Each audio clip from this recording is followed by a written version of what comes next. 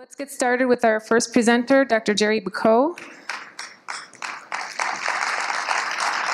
Dr. Bouquot was trained at the University of Minnesota, Mayo Clinic, and the Royal College of Dentistry, Copenhagen, Denmark. For 27 years, he chaired diagnost- the Diagnostic Science Department and two dental schools, West Virginia Uni- University and the University of Texas at, in Houston. He is co- co-author of the most popular textbook of oral pathology and has been president of the American Board of Oral and Maxillofacial Pathology, a senior visiting scientist of the Mayo Clinic, president of two national oral pathology organizations, and director of the American Cancer Society's National Board of Directors, and has won more than 50 teaching service and research awards and published more than 360 papers, abstracts, books, and chapters. Please give a warm Academy welcome to Jerry Bouquot.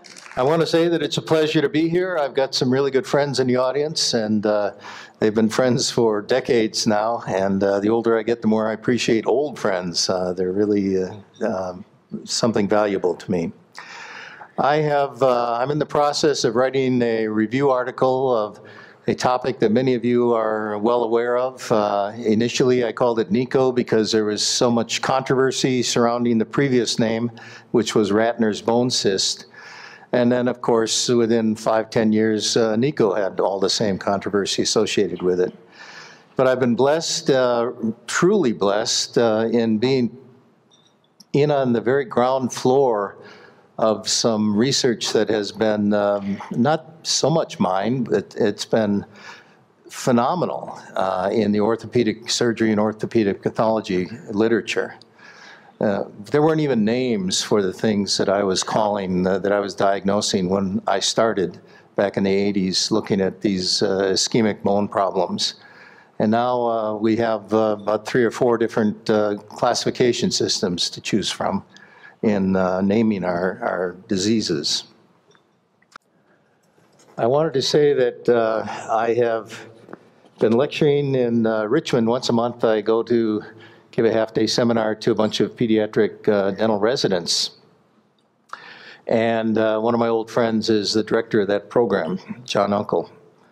And so I've been looking for odd things. And when you type in things like odd lips and odd tongues and odd mouths, on the internet, uh, when you Google those names, you get some of the weirdest things in the world. Uh, it's pretty amazing.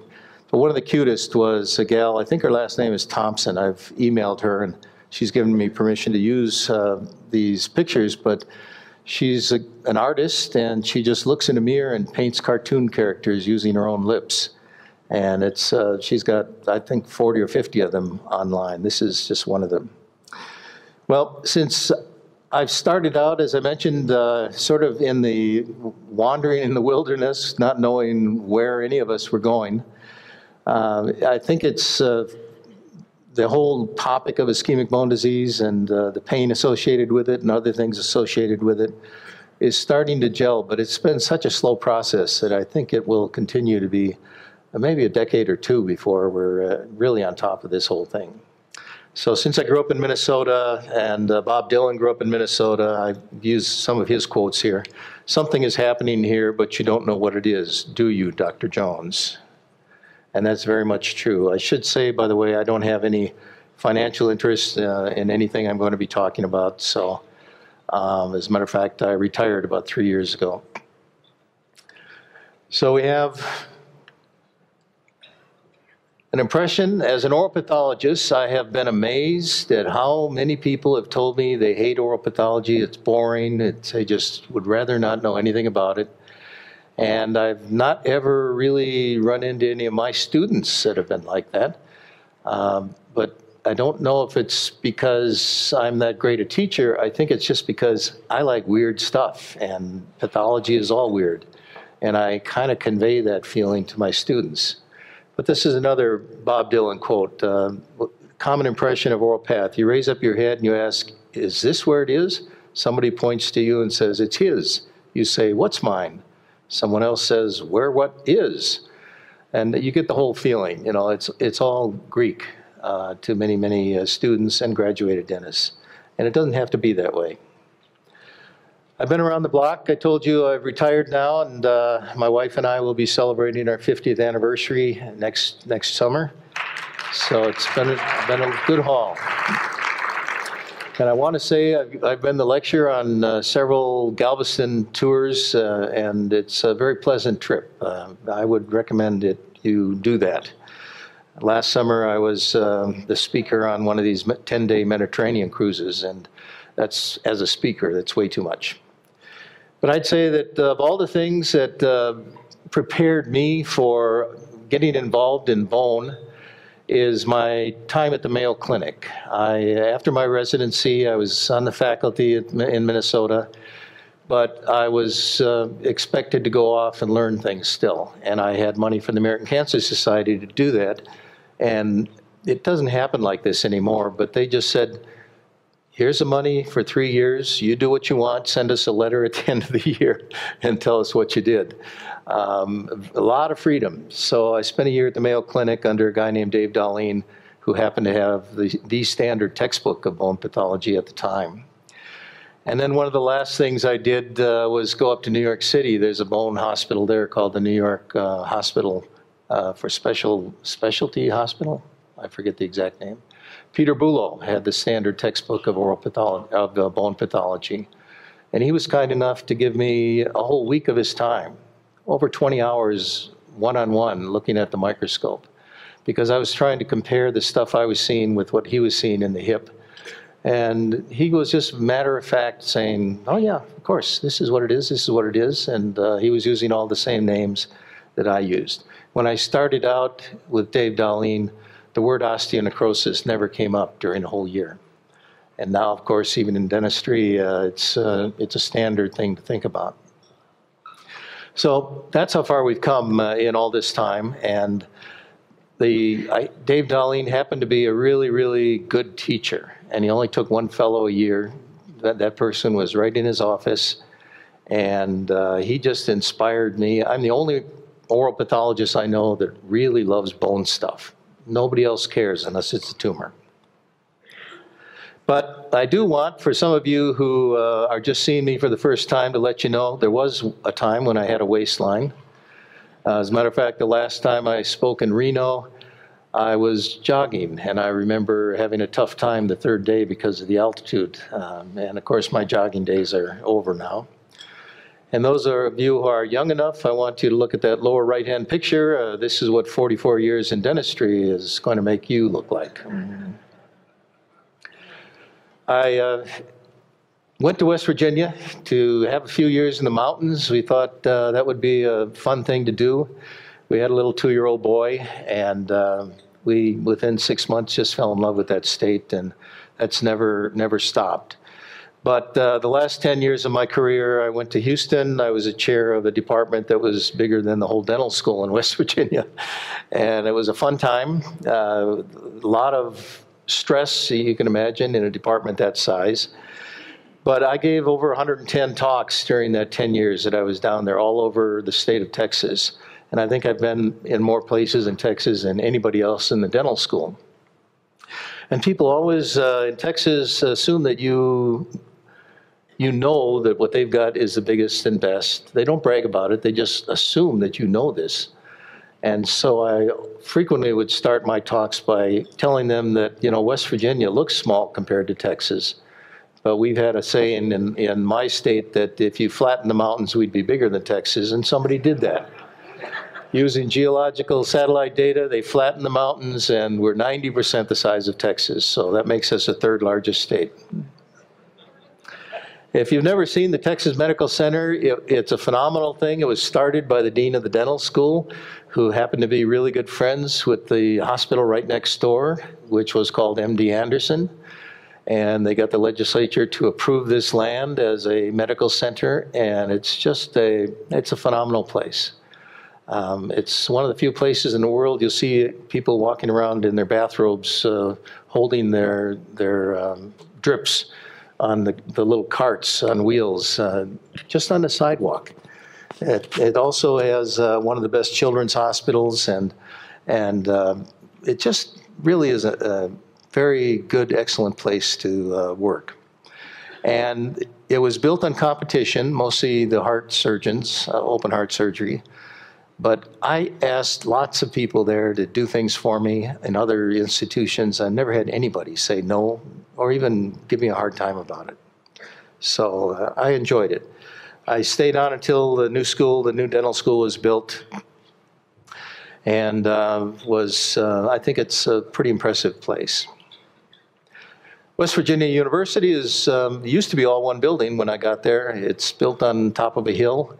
It is the largest building in the whole state, uh, and uh, it's showing its wear and tear now, but the state is uh, not so well off financially, and you would expect a certain amount of that. But I've found also that the students there are pretty much the same as Minnesota and Texas, and the faculty, they're excellent faculty uh, in all kinds of uh, institutions. Jan mentioned that uh, I was the author, co-author of the most popular oral path textbook. Uh, we were told that it actually, a couple of years ago, became the most popular oral path book in all of history. Uh, I talked the other three into being, uh, to writing the book, and they wouldn't do it unless I helped, so that's really the only reason my name is on there. But I, when I retired, I opted out to the of the fourth edition, which just came out this year. And I'm on my front porch, uh, working away, doing a lot of things that I enjoy now. Although I'm back full time at WVU, and uh, until they get a new oral pathologist, I can hardly wait to retire again. Some of you may have gone to my, my couple of websites. Uh, there was a lot of ischemic bone information on there. Uh, I had to take them down because they were old, and uh, I've got to learn how to do all this uh, so that it will adapt to tablets and smartphones. But uh, we'll get that back up and running. That's our intention. In the meantime, uh, I have, many of you know about this, is a Bouquot to Go folder or file. It's in a Dropbox file with about 3,600 uh, photos. There's a folder in there with 14 modules called Troubled Bones, and it tells you pretty much anything you want to know about this ischemic stuff. All you have to do is write to me at uh, AOL, Bouquot at AOL, and I'll, I'll send you the link, or you can get the link from anybody.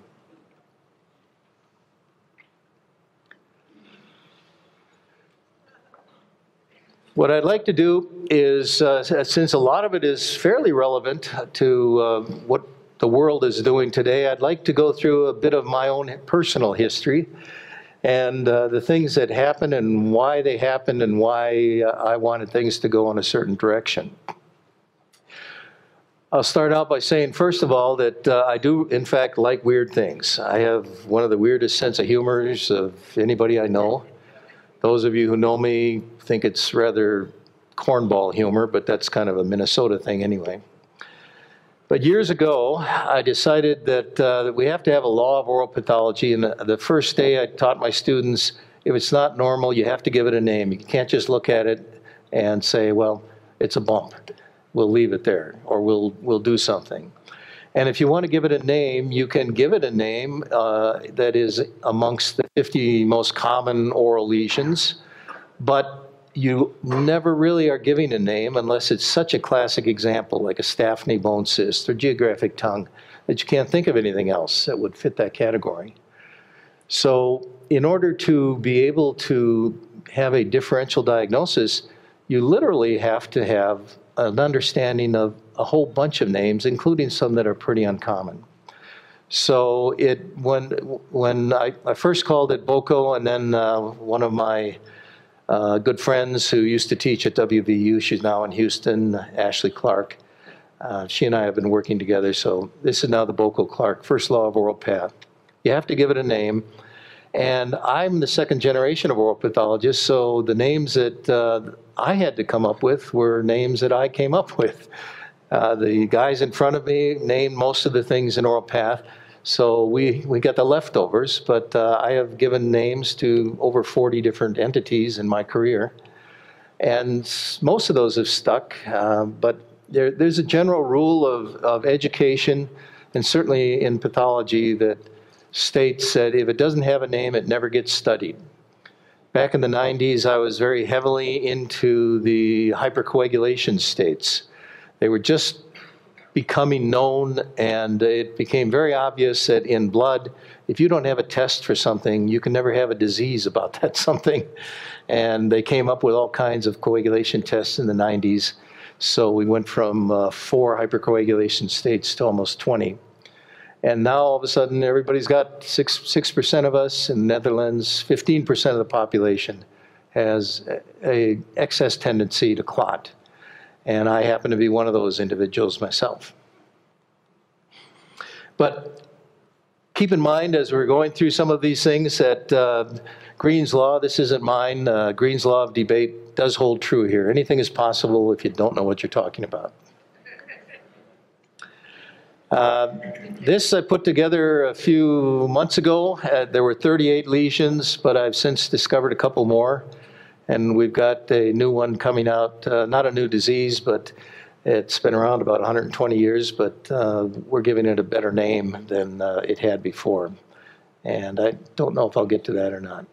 But let's uh, just go through some of this. I wanted to let you know that you know, many of you are working sort of like I did. You're out there in the wilderness and you're just sort of flying by the seat of your pants.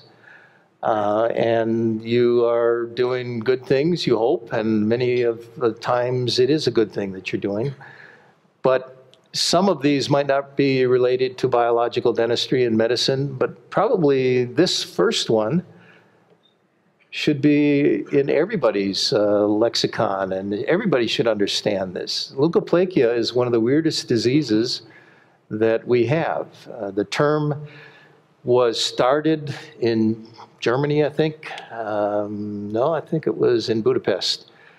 Uh, back in the 1870s, the term was used for people who, who had uh, the third stage of syphilis, and they had these white patches on their tongue and about a fourth of them went on to become squamous cell carcinoma.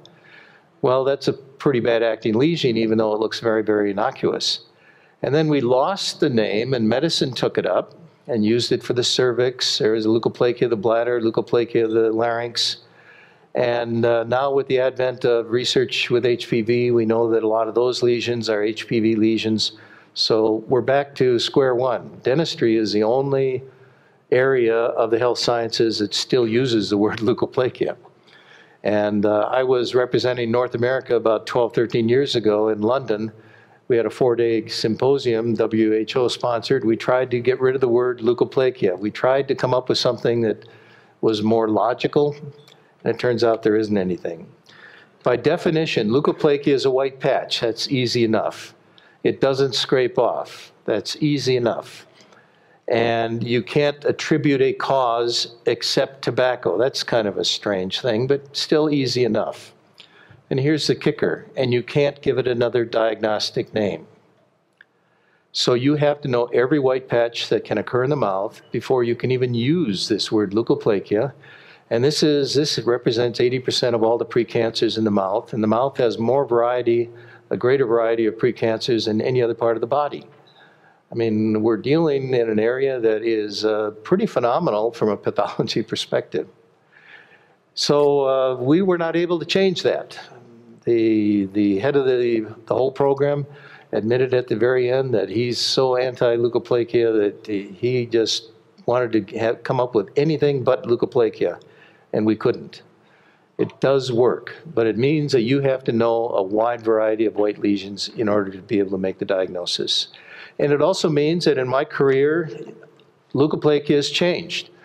You see here on the list, papilloma was once called leukoplakia. Lichen planus in my early career was called leukoplakia. Frictional keratosis is my name that I gave to this because it wasn't a precancer and we were calling it leukoplakia because it was a white patch. Alveolar keratosis was in the 90s. Uh, it was it's those white patches you see often bilaterally on the retromolar pad and they look very thick and they're rough on the surface and microscopically we got nothing. We never see any dysplasia. So that has gone off the leukoplakia terminology. Um, a couple of years ago, I put the next one in, breastfeeding keratosis, because if you are a little baby and you are hyperactive and you're sucking, and you're sucking whether you're sucking on a nipple or you're just sucking air, you can build up a callus on the inside of your lower lip. And uh, when that happens, a pediatrician looks at it and looks in their textbooks, and uh, it's white, so therefore it must be candida. And the patient that I saw first uh, with this was already treated with mycostatin, and the next step was going to be diflucan in a four-month-old baby. Um, not the best way of treating something that is pretty innocuous to begin with. So uh, I just talked the mother into not doing anything, and within six months it was gone. So breastfeeding keratosis is a form of frictional keratosis. Um, smokeless tobacco keratosis was also one of my early campaigns uh, especially when I went to West Virginia. They, they, they, everybody was chewing. Everybody was chewing tobacco, and the women were chewing tobacco, mostly the older women. And I could see where they kept the tobacco, and uh, we just weren't finding cancers in those, those individuals. And when I quit uh, academics back in the early 90s, um, I decided, well, the state asked me to be the director, the dental director, and as part of that, I thought I should do some public research. So I used a very good uh, cancer registry and gathered the data and just came up with an incidence for West Virginia, the number one or number two um, chewing state in, in the country. And I was expecting us to have a lot more oral cancer. It turns out we had less than the national average, and we had one fourth of right next door in Washington, D.C. So um, I was uh, pretty much called the devil in many different ways. The governor of the state got letters saying, you got to fire this guy, he's working for the tobacco companies. And uh, it was a real eye opener, and it was, uh, you've, many of you have run into that because you have ideas that are a little con contrary to um, the uh, standard. But as a matter of fact, I've won that fight, and now the white patches we call smokeless tobacco keratosis, we don't call leukoplakia. And uh, more recently, since I was in Texas, back in academics, I uh, happened to run into a whole bunch of abusers and uh, in, a, in a, our urgent care clinic. And I found uh, we reported 12 lesions. I'll show you a bunch of them. 12 lesions produced by cocaine that had never been reported before. Uh, and it wasn't because nobody cared. Obviously, we care about cocaine. But when I went to Texas, I didn't even know people put mushed up and moist cocaine powder in their upper lip. I just didn't know people put it in their mouths. And so uh, that is a pretty common thing, at least in the Houston area. And if you put it in that site, then it's going to be an irritant like smokeless tobacco is, and you will build up a white patch in that area. And cocaine keratosis, I had to make up some kind of a name. One of the problems we have is the last one, hairy leukoplakia in AIDS. If you have hairy leukoplakia of the tongue, it is in fact you have AIDS. That's just one of the definitions. However, uh, of course, it has to be confirmed with um, um, blood analysis, et cetera. But the person who put the word leukoplakia on this was not a neuropathologist, was not a pathologist. She's a good researcher, but she didn't understand the terminology. And so we've been trying to get rid of that name for years, but it's just so cute. You know, you can't, hairy, it looks like hairy tongue. You just, uh, it's just fun to talk about stuff with names like that. So what we have now in, in the leukoplakia literature is a much more pure form of the disease, and we would expect as follow-up studies go along that we will have a higher rate of, of uh, malignant transformation. I looked at all the soft tissue lesions, uh, benign and malignant, in the population around the Mayo Clinic I'd go back there for several weeks, several months every summer. Did that for about 20 years and um, abstracted over 8,000 people with mouth problems reported in the medical. This is only medical literature. And those uh, 8,000 people were in a population of about 70,000. So gives you a little idea of what there is. And these were leukoplakias that were identified by MDs. So you would expect them to be the bigger ones, the uglier ones, whatever that means. And we had an 18% malignant transformation rate. And the Mayo Clinic is known for its follow-up studies. It's really, it's got that down very, very well. So uh, I think that will be the, the future of the leukoplakias that we are now calling leukoplakia. Well, let's look at this smokeless tobacco keratosis. In the first place, it doesn't look like leukoplakia. Leukoplakia has sharp margins, and with this, we don't have sharp margins. Let me see.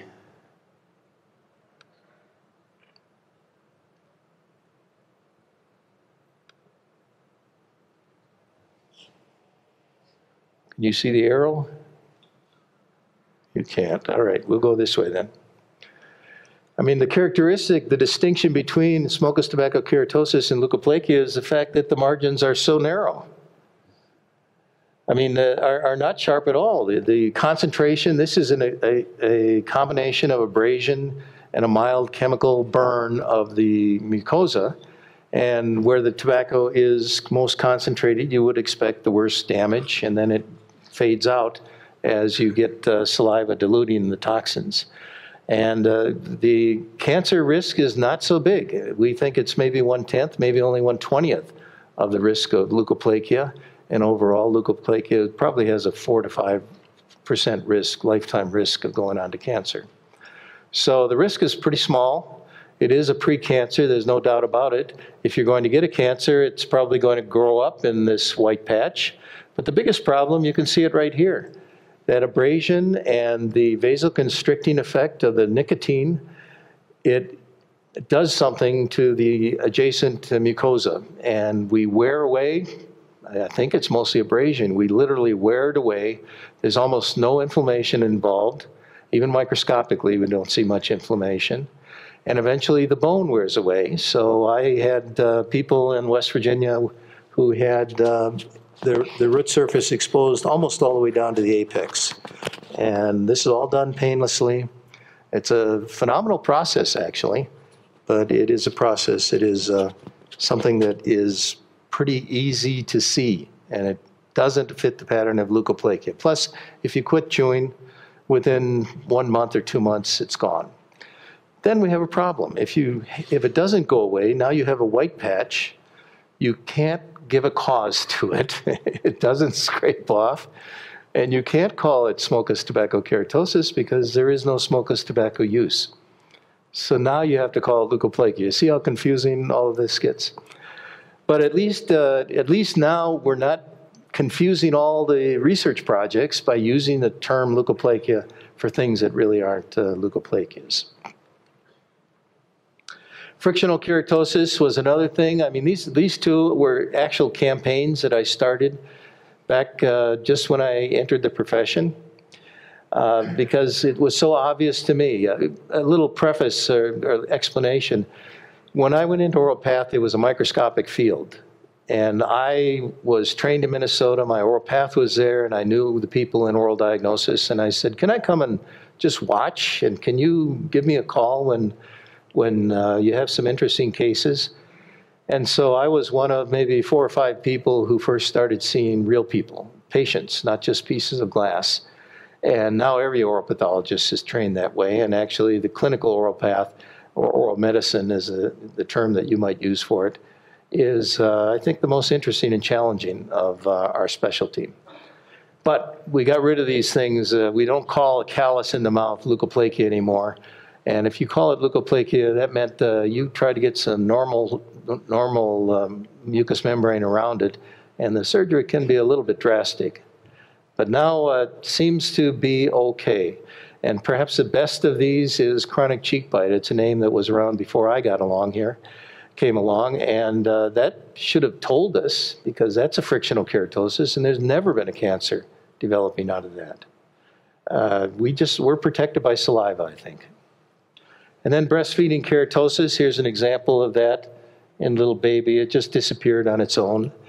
And uh, all we had to do was do a pap smear initially to see if there was any yeast in it, and that would have solved the problem.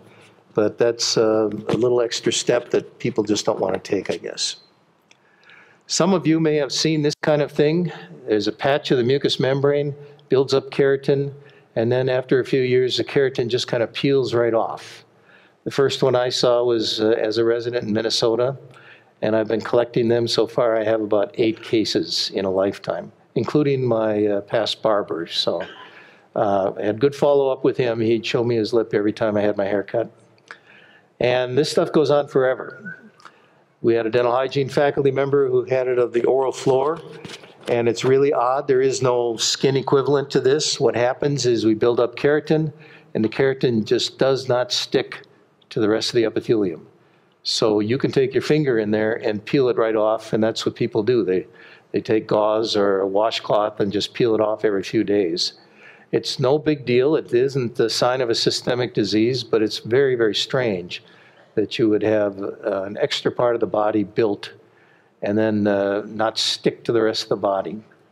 I had to make up a name, uh, idiopathic subcorneal acantholytic keratosis is pretty awkward, but Isaac is okay. So uh, we have uh, this, and that is still in the process of uh, there are new cases being developed all the time. Something kind of equivalent. I saw a bunch of people coming in from ortho.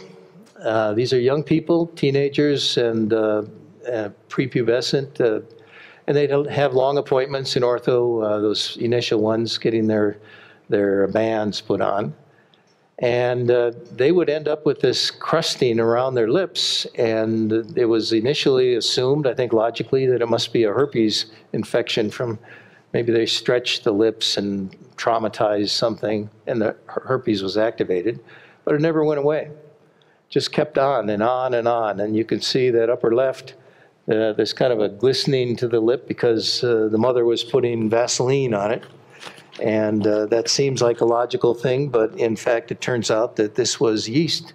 This was candida, and candida loves to live under Vaseline, so it was making everything worse.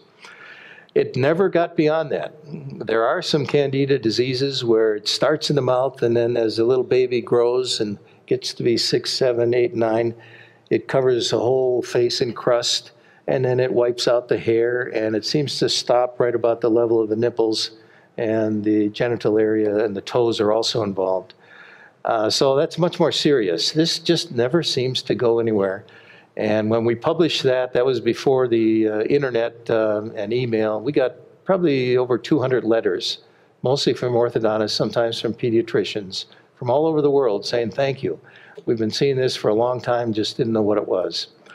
Uh, the name was too awkward in this case, so now uh, candida cheilitis is a, a, term used for several candida lesions that are in this same category. And remember that, that sloughing excess keratin that I just told you about, those people don't have any cause for it. But today we're living in a world where we have whitening toothpaste and as a matter of fact, if you go or are a cosmetic, go to or are a cosmetic dentist, where aesthetics, uh, that's sort of the prime thing in your practice, you have a lot of people who use lots of whitening products to make sure they have those smiley whites. In my own world, uh, for academic purposes, I, uh, I keep my lateral incisor crown on because uh, that's about 25 years old. And when I smile, you can see how discolored 25 years uh, uh, the rest of the teeth uh, uh, become. So it's just a, a, little short academic moment. But right now, white is really in, and pure white, the purer white, the better. Well, what happens is the toothpaste settles down into the, usually it's the mandibular vestibule, sometimes a little on the oral floor and it can be the anterior or posterior. And uh, after the mouth is rinsed out after the toothbrushing or using whiteners, uh, this stuff kind of settles in there and it produces a mild chemical burn. And you see on the in the epithelium, there's extra keratin, just exactly what happens with smokeless tobacco. And then below that, we have a bunch of puffed up cells. We call that intracellular edema. And when we have a bunch of puffed up cells on the top of the epithelium, there are some genetic diseases that will have those. But mostly we just assume it is a chemical burn, a topical chemical burn. Aspirin, mild aspirin burn will have the same thing. And in this case, we don't know exactly what is happening, but uh, it seems to be universal. If you talk to that uh, aesthetic dentist, cosmetic dentist, he will say, oh, I see that multiple times, maybe half a dozen times a day. And it's very mild. It's not nearly as severe as the uh, Isaac that I mentioned earlier. But it is part of the world where we are doing some damage, uh, and we're doing it probably knowingly, because uh, every dentist probably sees this in their practice and uh, assume that it's no big deal. I just happened to have the first patient who got biopsied with this stuff, and it was because she was cancer phobic She went online and she said uh, she found that a white patch in the mouth means you're going to get cancer. So we had to biopsy it to solve her, to calm her mind. But this is what we found. We found not only that, that uh, the big puffy cells, the damaged cells on top, which is called etching in pathology, uh, but we also found that just below the level of the keratin, it's peeling away. And when you peel it away clinically, it's just like Isaac, there's just nothing there. It looks perfectly normal. So when we wrote this up, uh, we said, and, and I was amazed at how little information there is about this. Uh, in the journals, there's almost nothing. I had to go to Google uh, in order to find information. And most of the information they have, um, I, I, ended up, uh, there's a comedian named Seth, I forget his last name. He's a pretty well-known comedian, and he is, I gave him a bunch of biopsy bottles, and he's got a bunch of his friends who are using all of these whitening products, and they're, they're gonna spit or take, when they peel off this white stuff, they're gonna put it in the biopsy bottles. And I think it's just gonna be a layer of keratin. Uh, they call it slime mouth, slime mouth. Um, I, I, think it's with us as long as we like white teeth, and uh, I don't think it is causing any problem. It just is something that's strange, and it's obvious something damaging that we are doing to ourselves. And I told you when I got to uh, West Virginia, uh, not West Virginia, but Texas, uh, the cocaine issue became big. Uh, the urgent care clinic has uh, about 40% of its patients are, are um, um, addicts, uh, usually not alcoholic addicts, but other drugs.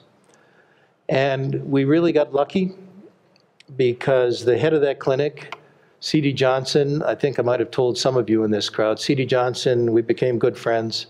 He's a great guy, but he can get you, if you're a drug addict, he can sit down with you in an open clinic and get you to tell how often you, you take your cocaine what street corner you get it on, what it costs, who you're getting it from. And I ask the same questions, oh, I don't use cocaine. So because of CD's personality, I call him the world's best BSer, but because of his personality, we were able to find out when we saw these lesions, I would look at it and say, I have no idea. It shouldn't be there, whatever this is. Or several of them, I would say, I've never seen this before. And so uh, we started to collect, not as a research project, but just an academic exercise, collect pictures of some of these, and I'll quickly go through uh, some of these. And keep in mind, uh, snuff and cocaine, snuff, tobacco, and cocaine at one time used to be done, used to be taken by placing either one in this little pouch between the thumb and the first finger. When you stretch it out, you just put it in there and put it up your nose and snort. If you're a big reader like I am, uh, I've read a lot of the novels from the 1700s and 1800s from England, and the rich people were the ones they were talked about, and uh, they were into this stuff a lot. Cocaine has become a real problem uh, in this country now because it's cheap. Methamphetamine uh, took a whole bunch of the market, and that could be so cheap that uh, it's almost laughable how cheap that can be. And most recently, uh, heroin has become a real problem because it's cheap. And in West Virginia, in one of our towns, Huntington, West Virginia, about 100,000 people, in four hours, they had 29 overdoses about three weeks ago.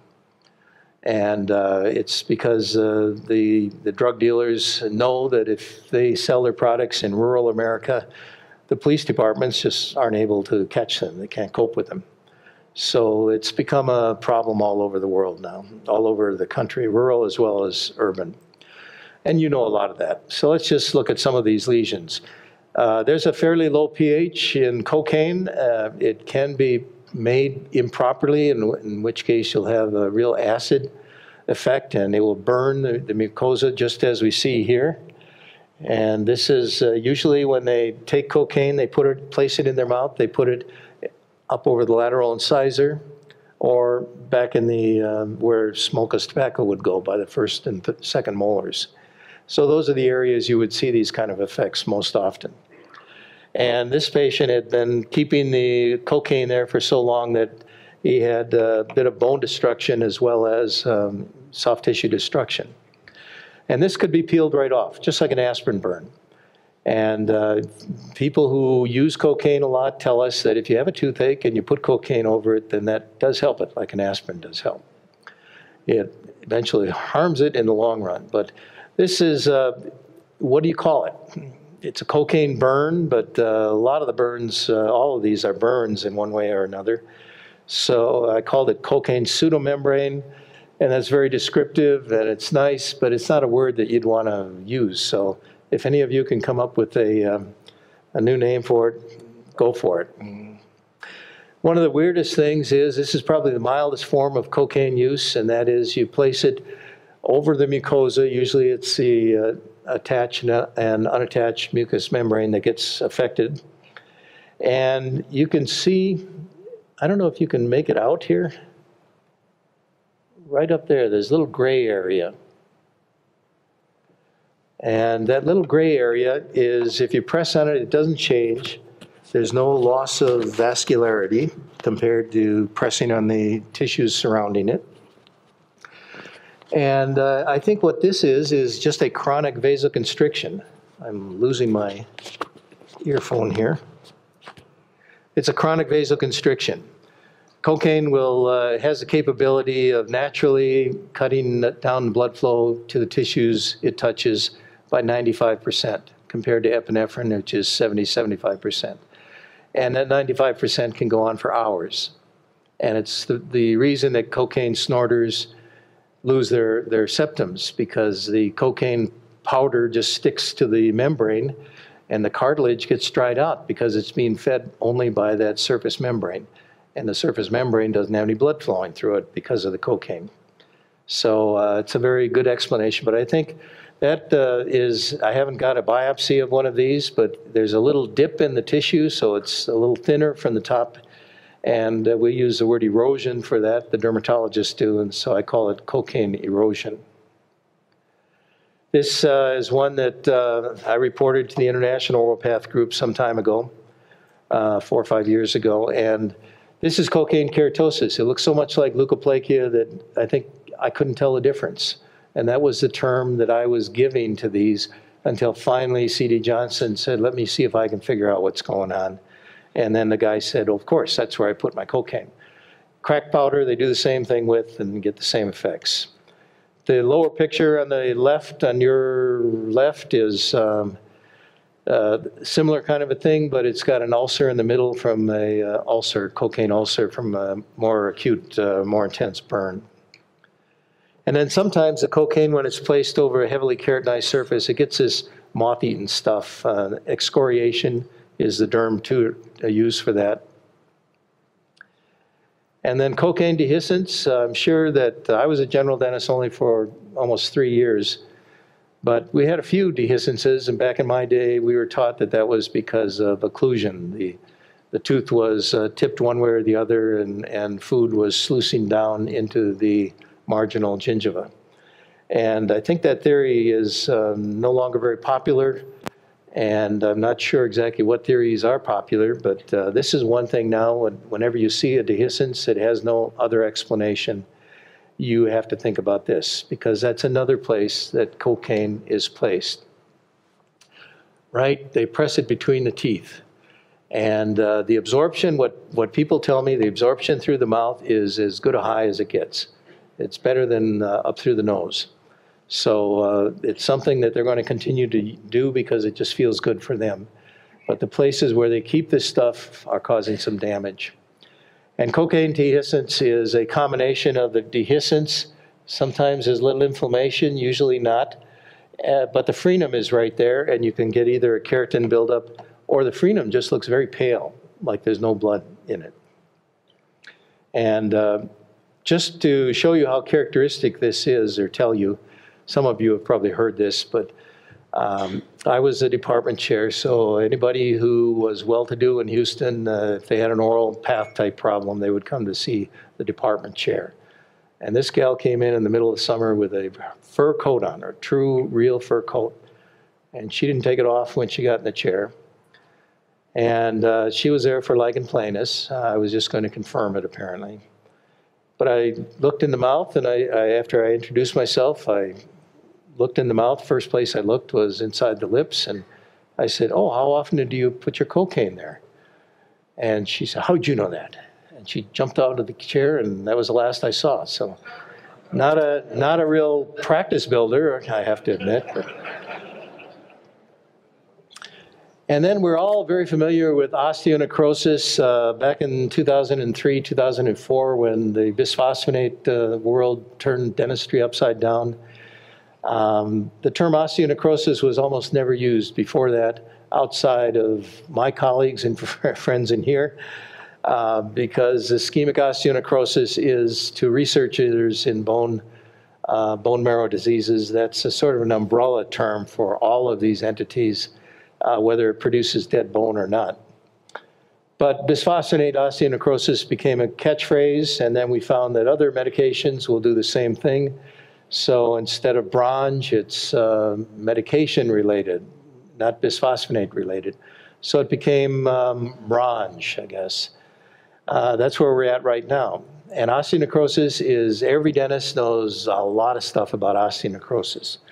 But we have another form here, and it makes sense because if somebody's topically putting some a huge, hugely effective vasoconstrictor over this uh, bone area, and then they get in a bar fight. Somebody, that's what happened to both of these individuals. They got in a fight.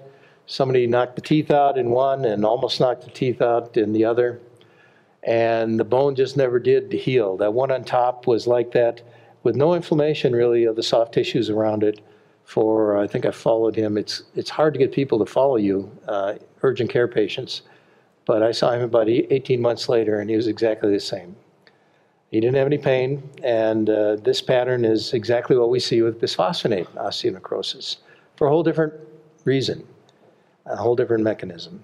And of course, we've known for centuries that uh, we can have a blow through of the septum with uh, cocaine that uh, gets stuck to the septum and then also, uh, in somebody who's a really bad user, they just keep on using even though they have a hole, and gravity pulls the powdered cocaine down, and most of it collects on the lower part where the bone is, and eventually it's strong enough to even kill the bone. And uh, a perforated palate, if you had a perforated palate back in the 1800s, 1840 to 1890s, and went to a physician, um, that physician would assume that you had either tuberculosis, third stage of syphilis, or cocaine abuse. Uh, those are the three big uh, palatal perforation diseases. Whoop, sorry. And this took me forever. I saw it many times and didn't understand it, but you see some erosion of this molar little cupped out areas, and there's also abrasion that you can't quite see so well in two dimensions. But look at the other side. Perfectly normal. And somebody who's grinding their teeth, uh, they might grind worse on one side or another, but I've never even heard of it being as bad as this. Plus, why get that dished out area? That's not abrasion. Um, the first patient I saw with this was a bulimia patient. And so I assumed that it, she was somebody who had a little hiccup or something when she was vomiting and some of the stomach acid got onto her teeth, but it was only on one side. And now I'm sure that that was somebody who was using cocaine. It's just natural. Cocaine is a low pH, it's going to dissolve enamel, and it's also a powder, so there's a little grittiness to it, and the combination of erosion and, and uh, abrasion is natural. But it's the only thing I know of that will do this only on one side. And then, of course, crack is the same kind of thing. Somebody can come in and they burn their themselves. Remember, these are glass pipes, so it gets pretty hot. And there are acute uh, crack pipe induced lesions. Uh, the crack pipe stem burn. And then uh, the lower picture shows sort of a chronic callus and indentation because the skin has responded to the, the heat of the crack pipe. And then some people will just suck in really hard and they'll get some of that crystal sticking to parts of their uh, palate. So crack pipe uh, airstream burn, I, you can make up names as well as I can. There was no name in the literature for this, never had been reported. Uh, of course, uh, telltale sign is that little chip on the lateral incisor where they keep the pipe. And this is the same kind of a thing. It's uh, somebody hiccups or sucks in the crack and uh, the crack crystals or the smaller ones get sucked up the pipe stem and land on the tongue and you end up with burns. Crack crystal burn. And then something that you've all seen, if you're a dentist, uh, you have seen people who have tongues that look like they're just covered with little fibromas. Um, and uh, that was something that I first saw 30 years ago, 35 years ago. Had no name for it, so I just took a picture of it and we took a biopsy of a few of the bigger ones. If they had a burning sensation, we assumed it was yeast and we would give them yeast medication and it took care of the burning. But it was no big deal, and so we just let it go. And then when I retired or moved to Texas, I looked in all my boxes. I had the big word unknowns on the side. All these lesions of things that I had seen and didn't know what was causing them, where they came from, or what name they had. And I had over 20 cases of this with pictures and pretty good histories and follow up on some of them. So I just got disgusted with my colleagues who I was waiting to do the job and, and write about this. And I wrote this up chronic lingual papulosis. Had to make up a name. And uh, that came out in 2014, and that year that was the most requested paper in Triple O, which is our main journal. Uh, the most requested reprints and downloads uh, in Triple O for that year. It was a silly little paper. All I did was give it a name, something that we've all seen, and we just, you know, if you haven't got a name for it, you can't really think about it. And histologically, here's, you can see, uh, these are, some of these are filiform, fungiform papillae because we have taste buds, and others were just big filiform papillae. They look like irritation fibromas microscopically. And there can be a little variation associated with this, and uh, we also found the anterior tips of mouth breathers of the tongue. Same kind of thing. If you go, if you have somebody with brown bumps on their tongue, you would, would go into the dental liter- literature and find not a single name, nothing. There are three or four or five papers in the medical literature, pediatric literature. They call these uh, black tongue bumps or something like that. But uh, it's something that you've all seen probably from time to time. It is a variation of melanosis, maybe racial melanosis, physiologic melanosis, maybe drug induced melanosis. But the tips of the fungiform papillae are fairly neural. That's where the taste buds, of course, have to come from.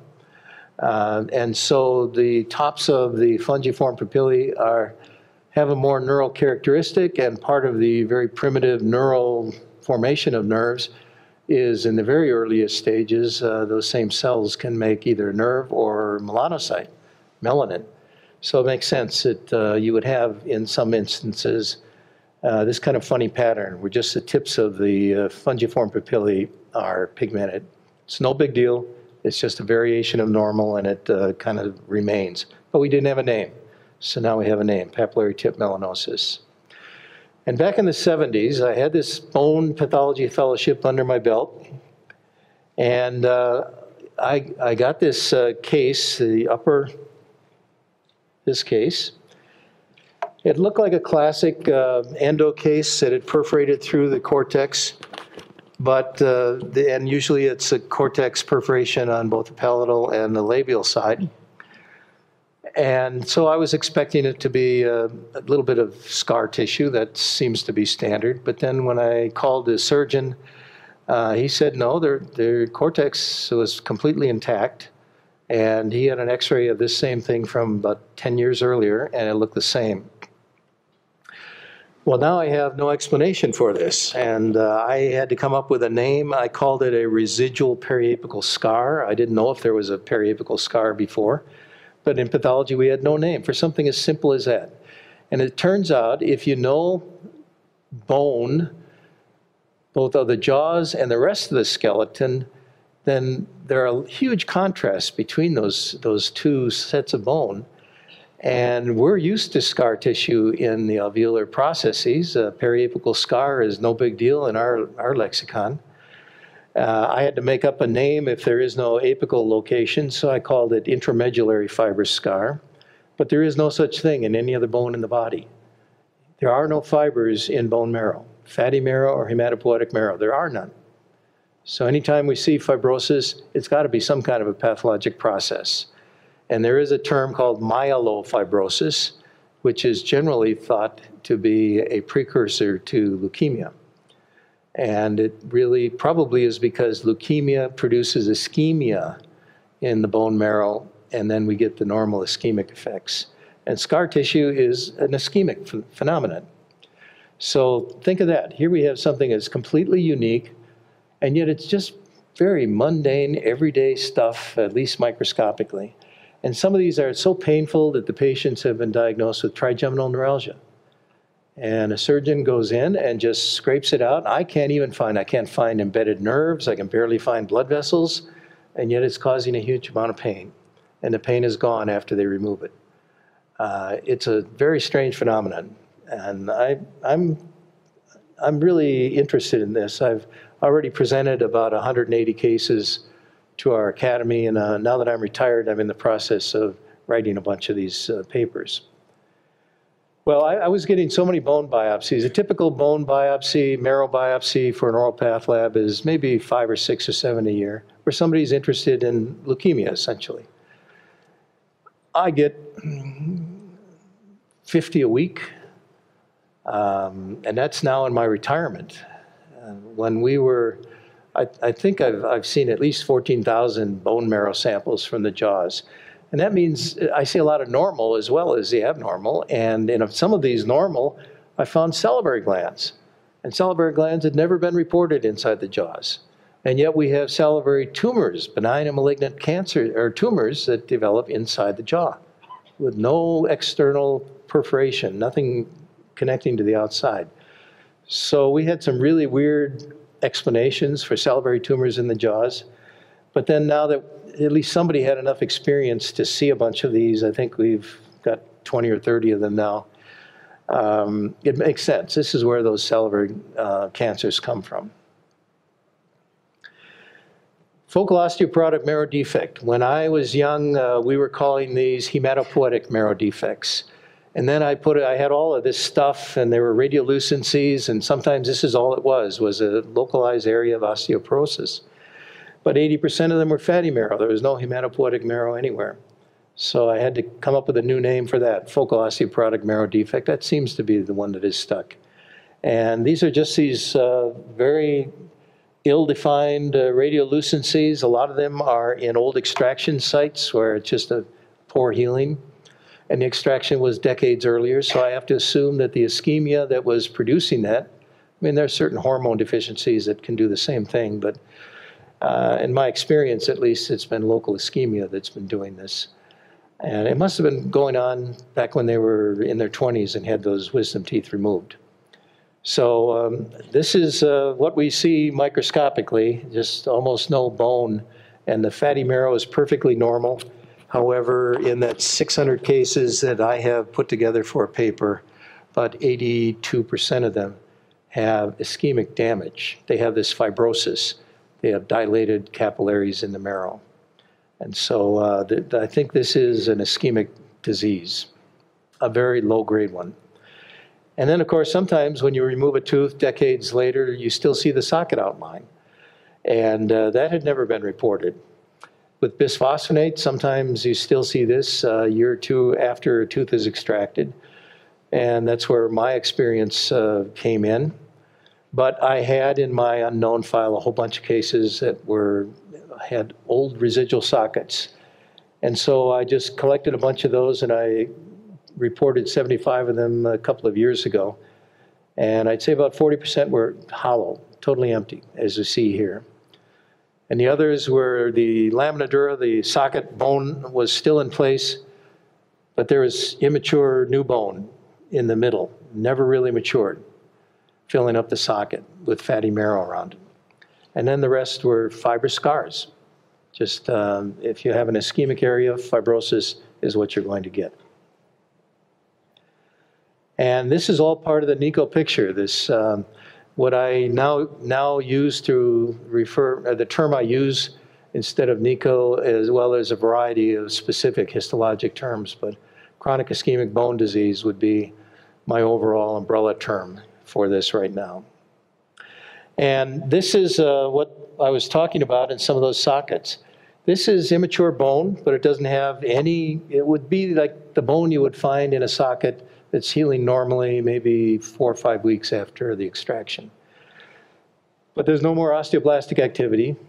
The fibrous tissue of new bone is not there. It's replaced by just fat cells.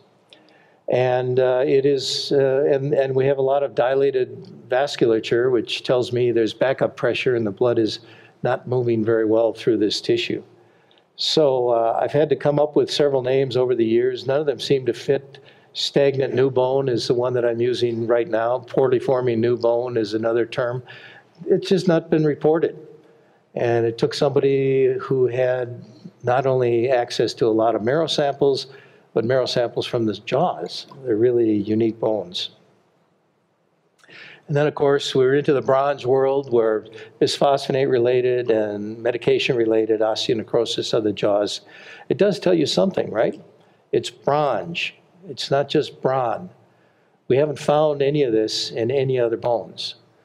There are people who have uh, who are on bisphosphonates who have been helped because they have some ischemic bone marrow problems. And there are a few people who have had green stick fractures who have been taking Fosamax for years. A green stick fracture, they're, they're just, for example, one woman was on the New York subway holding on to the strap and they just, she lurched, uh, the car lurched and she heard both of her thighs snap. And uh, it- it's a nice, clean fracture. There are about 20, 25 cases of that that have been reported with bisphosphonates. Otherwise, it's just the world of dentistry that has to deal with it. And I think we are dealing with it. Is my time up? No? I can stop anytime. And I'm old, so I want to stop.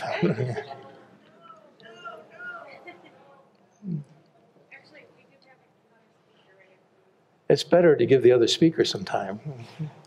Well, that's just been a little bit of my weird uh, lifetime experience. There's more uh, on this PowerPoint presentation. And after I went through th- sort of this lifetime personal experience, then there's a regular NICO lecture that uh, gives, it's just an update of what's happened uh, to date. So it's a long PowerPoint, and I've only reached about 40% of the way through it. Thank you for your attention.